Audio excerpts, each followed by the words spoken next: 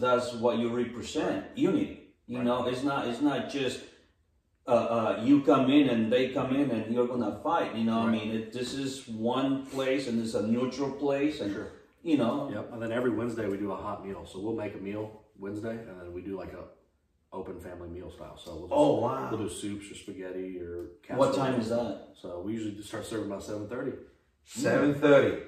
Yeah. I'm See, teaching. get, getting ideas, getting right. ideas. hey, maybe we'll meet. We'll meet you one of these days. Right. Okay, so now, um, so Officer uh, Joy Reyes, um, he is, or is he in charge of certain programs of the PAL, or do So- you guys try to share the time that you guys do together? We definitely share all of it. Uh, he just started 60 days ago, so he's still learning. It's it's quite overwhelming to jump in with all this stuff going on. Uh, so I said, hey man, if you can take care of the garden and some of the art stuff and the pantry stuff, I'll take care of all the rest. Like so, we have to do all the stat keeping and paperwork and new additions and entering. kids. It's a lot of work. It's, it's, it's It's a a lot busy of day, work. yeah. It's a busy day. Yep. W- Would you say that um, this program has also, and correct me if I'm wrong, it has expanded your career as a police officer? Oh, for sure. Yeah, definitely. I've met so many more people than I would have if I were on the streets. So a lot more doors have opened up, and Now, do you have now a, a different perspective? Um, we, we like to open the show with tell us a little bit about your cultural background and your ethnicity. Um, because regardless of your race, regardless of your the, the, the skin of your the coloration of your skin, everybody has a cultural background and everybody has an ethnicity. That's how we start. And you come across from kids from all cultural backgrounds, all races, right? Correct? correct. Um, has it been an eye opener to come across different cultures? Oh, for sure. Like uh, we have a Burmese kid that Burmese. I didn't really know much about that culture, and he's there at the gym pretty much every day. He lives down the street. Uh, we fix his bicycle for him. We we do all kinds of stuff for that kid. So and then uh, kids that it's different seeing them without being called to their house. Mm. You know, there's a they still think you're the cops at the Mhm, beginning yeah. until mm-hmm. they realize you're just regular people through doing the same stuff they like to do. Mm-hmm. Mm-hmm. You know, you like watching the same movies, you like watching the same TV, you like playing the same video games, you like playing the same sports.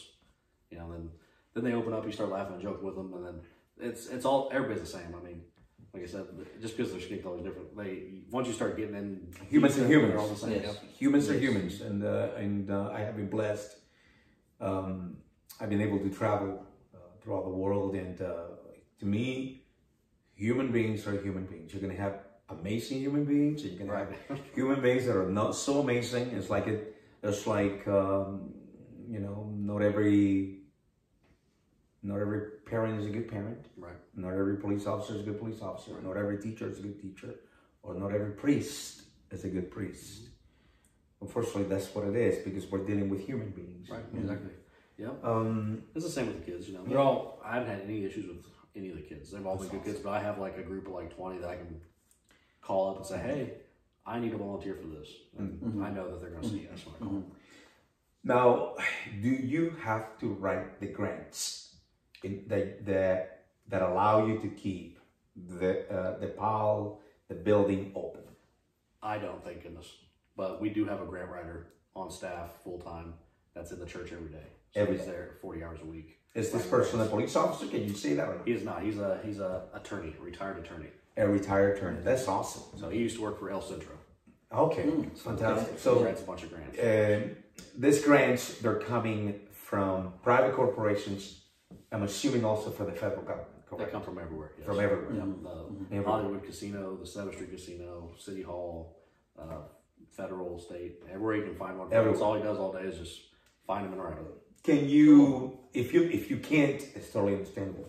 What is the budget to keep uh, the power going, approximately?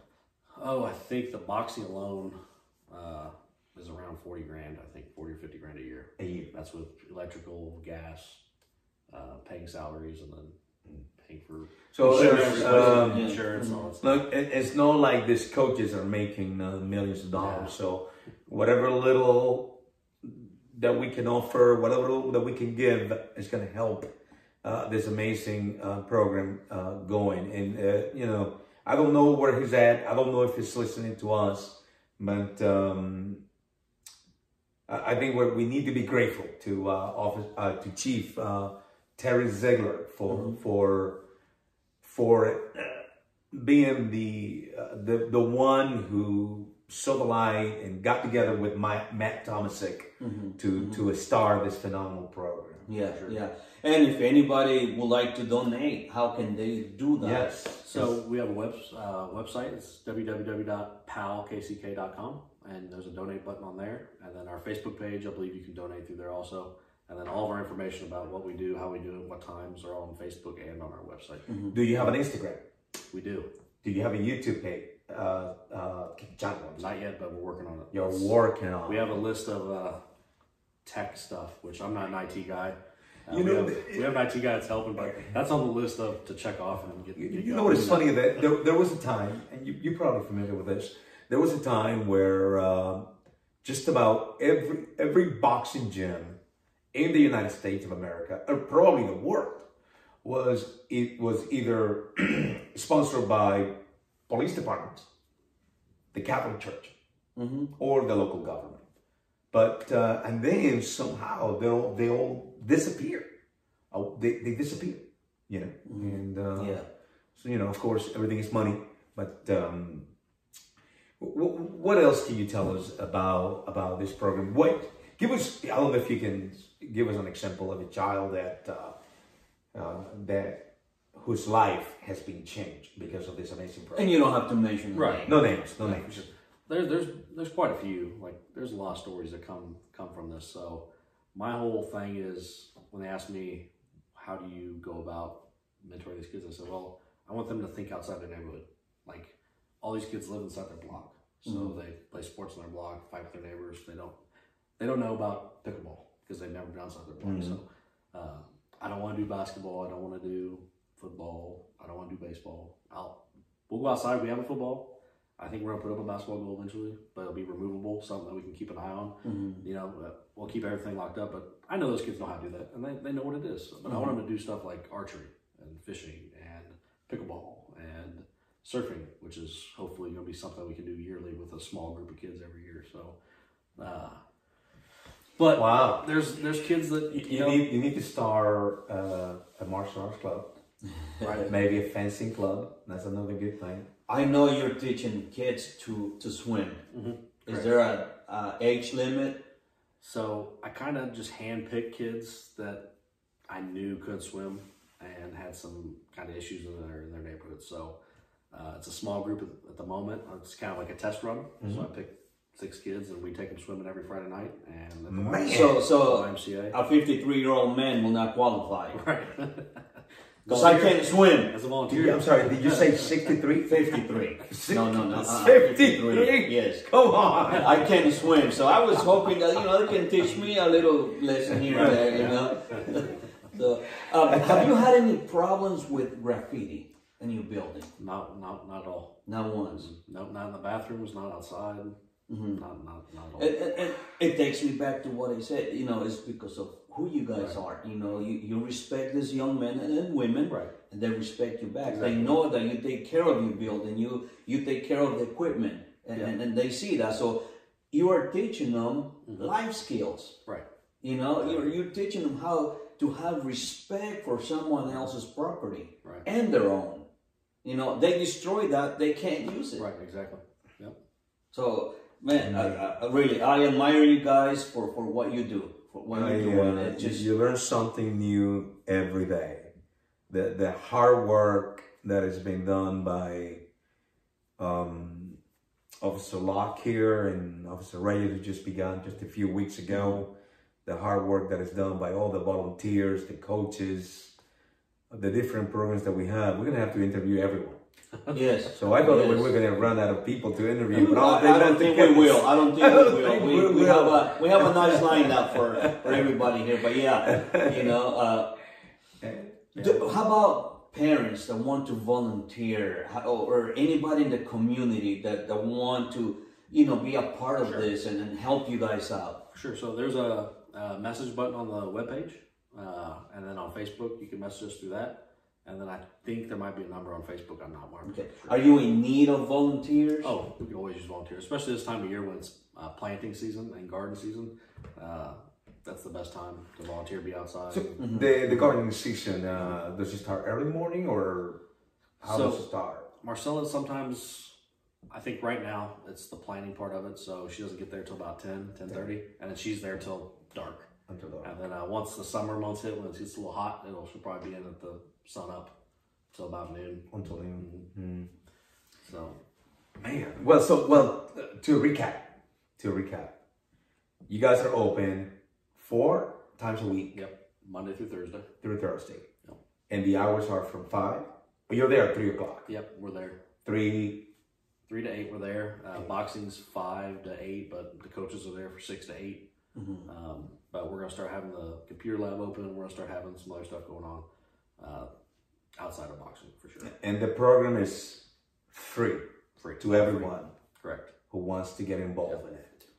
Wow. Is is there anything you would like to tell parents listening, you know, that might need a little extra help with their child, their young man or or daughter, you know? Right. that- since you you were involved with all this, Right. You know, I would say just just try it out. Like bring them for a week or two. Let us talk with them a little bit. Let us.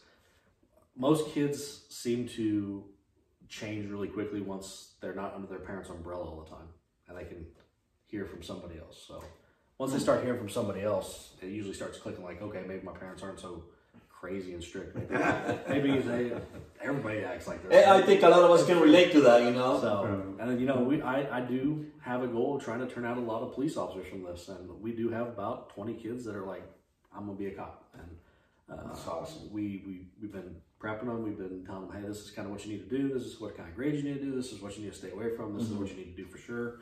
Uh, you when we show them around the police department, uh, we got like three kids that want to be like CSI, and we're gonna take them out to Johnson County. We're gonna take them over to KC Mo, let them see all the like cool forensic stuff. Uh, but I got some heavy vests from when I was on the SWAT team. You know, I got those hanging in my office. So, you know, you throw those on a kid and say, all right, now you're gonna run around the gym and you're gonna do a couple pull-ups and you're gonna crawl a little bit and act like you gotta watch a house for another ten hours after that. You know, so. Uh, but they like, you know, the role playing stuff. They like putting the stuff on, the gear on, and we kind of doing all that stuff. So, Have you seen the change of confidence of some of the oh, for sure, yeah. There's kids that come in that, you know, you talk to them and they just look down. They don't, they don't respond. But after a week, you know, they won't stop talking to you. You're like, hey, I gotta go talk to somebody else now. That's it. I enjoyed the last ten minutes, but it's somebody else's turn now. So Yeah. Yeah, a couple of weeks we had uh, Captain Pruitt here with us, and uh, she explained just a little bit about you know PAL that was under uh, uh, community policing. Right. Now this is what they do. You know, police officers are not always patrolling the streets.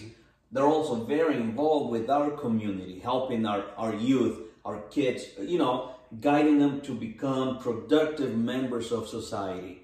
And, you know, I mean, what, you know, my man, Right. utmost respect. Yes, I, yes. I am telling you, I, Yes.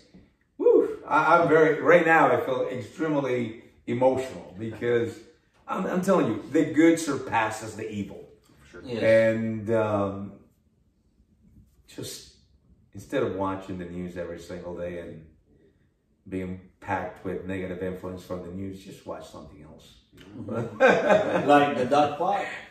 Watch the Dotte volunteer, volunteer, Pod. Volunteer. Yeah. Officer Locke, is anything else that you would like to uh, communicate to uh, our audience that we haven't touched? Our community. Well, I th- we we touched on a lot, but we could sit here and talk for hours about all the stuff Pal does. Uh, I mean, we we want to get kid there first. We want to make sure they're steering right. We make them productive citizens, and we want to get them job careers that we know they we, they can get. So we want to.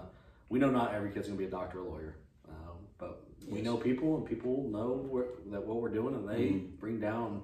Uh, we've had military recruiters come down. We've had business owners come down that do electric, you know, electrical, elect, well, electrical stuff and all that stuff. So, you know, just good trade jobs. And uh, there's so much more than just coming down boxing.